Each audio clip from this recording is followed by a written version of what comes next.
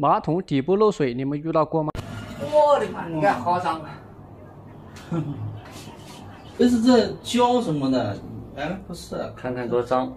马桶底部漏水就是没有安装好，我们今天要给它重新安装一下。不过先要给这个大号给它清理干净，用客户家的马桶刷仔细的用水冲洗刷干净，地面刷干净以后，然后给马桶给它翻过来。哎呦，你们看看，这家的马桶底部有两个孔，两个孔都没有堵。安装的师傅也太不负责任了。正常的这个马桶两个孔有一个孔应该是给它堵起来的。两个孔，一个孔都没堵，就这样装上去了。你看，肯定漏大便啊！哦，安装师傅也太不负责任了吧？不过也要给这个马桶冲洗一下，太脏了。你看，还有草纸挂在上面。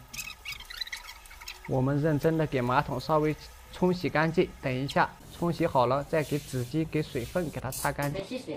我现在用墙纸刀给原来旧的胶给它剃干净。剃干净以后，方便等一下安装的时候固定的时候方便打胶啊。胶清理好后，然后我们给马桶扶起来，给它放在一边，顺便也给水给它倒一下。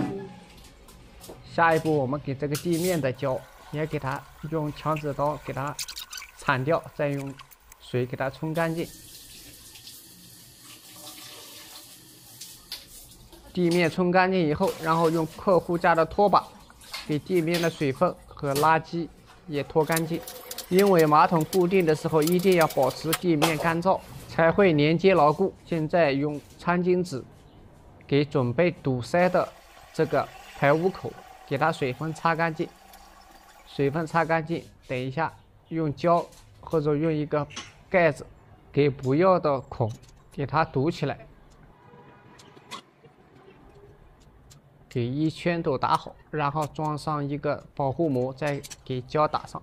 下一步，我们再用装珐琅圈的包装膜给孔扣起来就可以了啊。这样保护的就非常好。那个没，这在这里呢，这个还有好多呢。哦，要等它彻底干透，对吧？对，然后它就冲掉。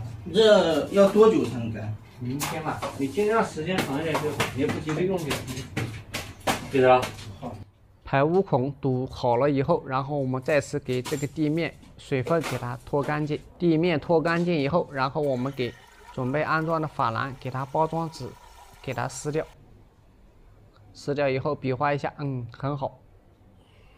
然后我们给法兰放在一边。现在给马桶扶正，因为马桶底部刚刚的水都已经擦干净了，给马桶扶正。扶正以后，用手给马桶给它拖到准备安装的位置，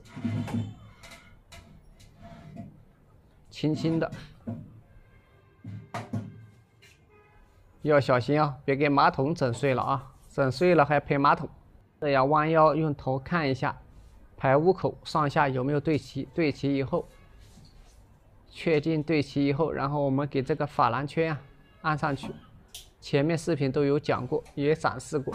就不细讲了，上下孔对好后，然后给马桶放平就可以了啊。如果马桶有晃动的时候，如果不平，可以找个东西垫一下，垫的不晃动就可以了。然后再给马桶和地面的周边水分擦干净，还有后面，因为打玻璃胶不能有水，确保地面干燥和马桶接合处没有水缝就可以。然后我们就可以。给玻璃胶打上，我用的一般都是透明防霉玻璃胶。我习惯性装马桶都用透明的玻璃胶，有可能我怕白的玻璃胶打不好，比较难看。因为透明的玻璃胶打的不好看，客户也看不到。现在给玻璃胶一圈都打好，打好以后，然后我们还是老方法。给玻璃胶的屁股捏扁，然后给多余的胶铲掉。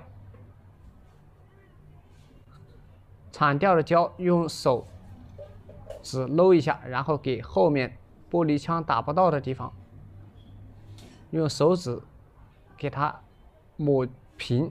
地面和马桶结合处用胶扎牢就行。检查一下有没有哪里的胶没打好。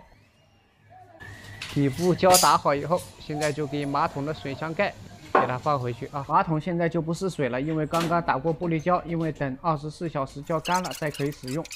最后，我们给客户家的垃圾给他用拖把收拾一下，给他扫到一块堆起来，然后我们再去。找客户家的这个叫什么簸箕，叫什么车簸，给垃圾扫到一起，给它倒到客户家的垃圾桶里就行了啊。好嘞，卫生搞好以后，然后这个就是装好马桶的样子。你们看看这个活干的怎么样？如果有哪里做的不好的，感谢大家多多指点，谢谢。